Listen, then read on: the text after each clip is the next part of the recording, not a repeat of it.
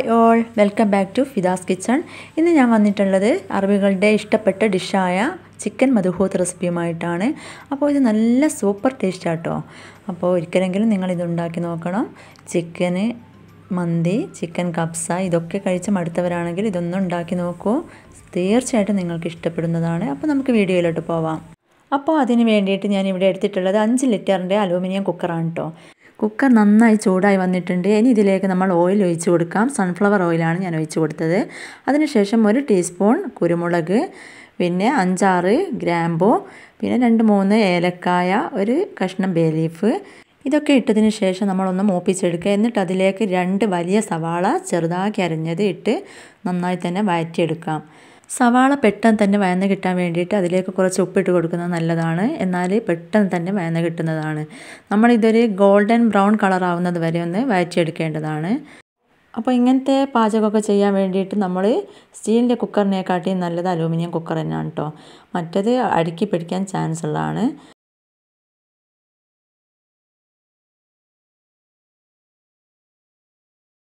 അപ്പോൾ അതാ നന്നായി തന്നെ ഉള്ളി വയന്ന് വന്നിട്ടുണ്ട്. ഇനി നമ്മളിതിലേക്ക് ഒരു ടേബിൾ സ്പൂൺ ഇഞ്ചി വെളുത്തുള്ളി ചതച്ചിതിട്ട് കൊടുക്കാം.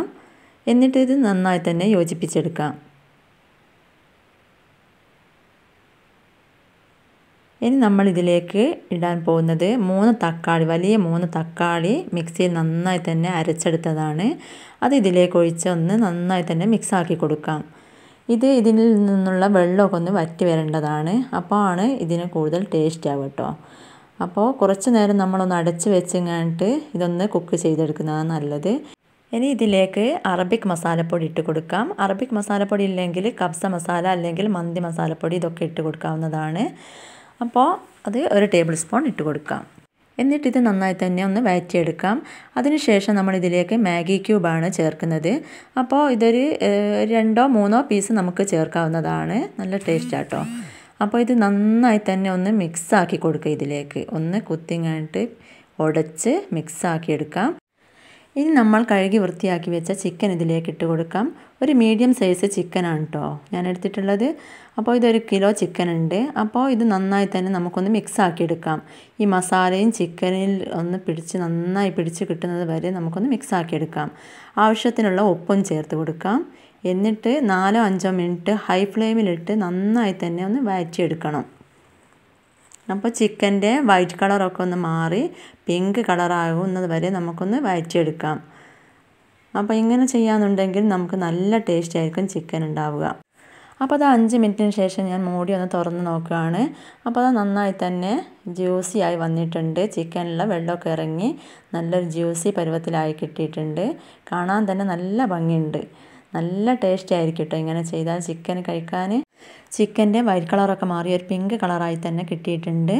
അപ്പോൾ ചിക്കൻ ഒരു എഴുപത്തഞ്ച് ശതമാനം വെന്ത് വന്നിട്ടുണ്ട് കേട്ടോ. അപ്പോൾ ഇനി റൈസിന്റെ കൂടെയും കിടന്ന് വേവുന്നതാണ്. അപ്പോൾ ഇങ്ങനെ മതി. ഇനി നമ്മൾ ഇതിലേക്ക് ഉണക്ക നാരങ്ങയാണ് ഇട്ട് കൊടുക്കുന്നത്. ഉണക്ക നാരങ്ങ ഇഷ്ടമല്ല എന്നുണ്ടെങ്കിൽ ലെമൺ ജ്യൂസ് ഒഴിച്ച് കൊടുക്കാവുന്നതാണ്. ഇനി നമ്മളിതിലേക്ക് വലിയൊരു ക്യാരറ്റ് ചെറുതാക്കി അരഞ്ഞത് ഇട്ട് കൊടുക്കാം. എന്നിട്ട് നന്നായി തന്നെ ഒന്ന് വഴറ്റിയെടുക്കാം. അപ്പോൾ അത് ആ ഉണക്ക നാരങ്ങയും ക്യാരറ്റും കൂടി നന്നായി മിക്സ് ആക്കി എടുത്തു ഇനി നമുക്കിതിലേക്ക് അരി ഇട്ട് കൊടുക്കാം. സെല്ല ബസ്മതി റൈസാണ് ഞാൻ എടുത്തിട്ടുള്ളത്. അരമണിക്കൂർ കുതിർത്ത് വെച്ചതിന് ശേഷം ഊറ്റി കൊട്ടയിലാക്കി വെച്ചതായിരുന്നു. അത് നന്നായി തന്നെ ഇതിലേക്കിട്ട് മിക്സാക്കി മസാലയും ചിക്കൻ എല്ലാം തന്നെ യോജിപ്പിച്ചെടുക്കാം. അരി മിക്സ് ചെയ്യുന്ന സമയത്ത് അരി പൊട്ടിപ്പോവാതെ തന്നെ നമ്മൾ ശ്രദ്ധിക്കേണ്ടതാണ്. അപ്പോൾ ഇത് അങ്ങനെ കുത്തിമറിച്ച് ഇളക്കിയെടുത്താൽ പൊട്ടിപ്പോകുന്നതാണ് അപ്പോൾ നന്നായി തന്നെ ഒന്ന് പാകപ്പെടുത്തി എടുക്കാം. ഇനി നമുക്കിതിലേക്ക് ക്യാപ്സിക്കമാണ് ഇട്ട് കൊടുക്കേണ്ടത്. അത് ചെറിയ ക്യൂബ്സാക്കി കട്ട് ചെയ്തിട്ട് കൊടുക്കാം.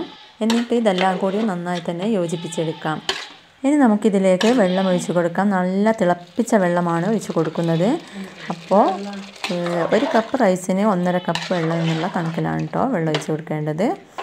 അപ്പോൾ ഒരു കിലോ റൈസാണ് ഞാൻ എടുത്തിട്ടുള്ളത്. അതിനാവശ്യത്തിനുള്ള വെള്ളം ഒഴിച്ചു കൊടുക്കാം. എന്നിട്ട് ഇത് നന്നായി തന്നെ ഒന്ന് മൂടി വെച്ച് കൊടുക്കാം. ആവശ്യത്തിന് ഉപ്പുണ്ടോ എന്നൊക്കെ നോക്കിയതിന് ശേഷം നമ്മളിത് മൂടി വെക്കുക. എന്നിട്ട് ഒന്ന് ഹൈ ഫ്ലെയിമിലിട്ട് ഒരു വിസിൽ അടിയുന്നത് വരെ വേവിച്ചെടുക്കാം.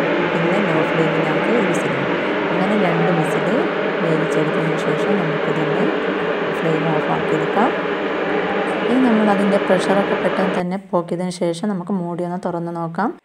പാകത്തിന് തന്നെ റൈസ് വെന്ത് കിട്ടിയിട്ടുണ്ട്. കൂടുതൽ വെന്ത് പോയിട്ടൊന്നുമില്ല. ഇതാ കണ്ടാലറിയാം. ഇത് ചൂടോടായതുകൊണ്ട് നമ്മൾ കുറച്ചൊന്ന് ഒട്ടിയതുപോലെ തോന്നും. എന്നാലിത് വേറിട്ട് തന്നെ നിൽക്കും ചൂടാറിയതിന് ശേഷം. അപ്പോൾ ഇതാ അറബികളുടെ അറേബ്യൻ ഡിഷായ ചിക്കൻ മധുഹൂത്ത് എളുപ്പത്തിൽ തന്നെ നമുക്ക് വീട്ടിലും ഉണ്ടാക്കിയെടുക്കാൻ പറ്റുന്നതാണ്. നല്ല ടേസ്റ്റാണ്. ഒരിക്കലെങ്കിലും നിങ്ങൾ ഉണ്ടാക്കി നോക്കണം എന്നിട്ട് ഫീഡ്ബാക്കും കമന്റൊക്കെ അറിയിക്കാൻ മറക്കരുത്. എന്റെ ചാനൽ സബ്സ്ക്രൈബ് ചെയ്യാത്തവരുണ്ടെങ്കിൽ ഒന്ന് സബ്സ്ക്രൈബ് ചെയ്യണേ. എന്നിട്ട് ഓൾ എന്ന ഓപ്ഷൻ തന്നെ ക്ലിക്ക് ചെയ്യുക. അപ്പോൾ ഞാൻ വിടുന്ന നോട്ടിഫിക്കേഷൻ നിങ്ങൾക്കും കൂടെ ലഭിക്കുന്നതാണ്. അടുത്തൊരു പുതിയ വീഡിയോ ആയിട്ട് വരുന്നത് വരേക്കും. Bye thank for watching.